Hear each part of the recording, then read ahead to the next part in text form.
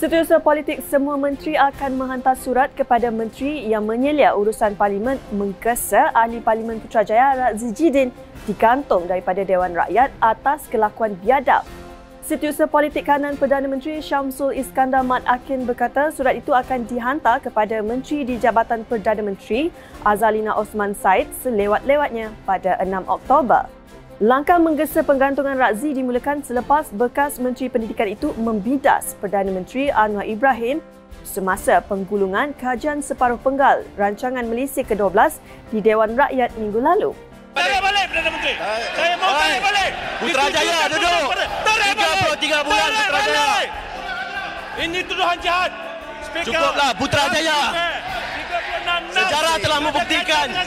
Putrajaya duduk. melakukan kesalahan. 36-6. Tuan Speaker. Tak ada kaitan dengan saya. Razi kemudian diarah keluar Dewan Rakyat diikuti ahli Parlimen Perikatan Nasional lain yang turut meninggalkan sidang sebagai tanda protes. Minggu lalu, Majlis Setiausaha Politik Kerajaan diketua Syamsul turut menggesa Razi dikantung daripada Dewan. Syazwana Amir, Berita FMT.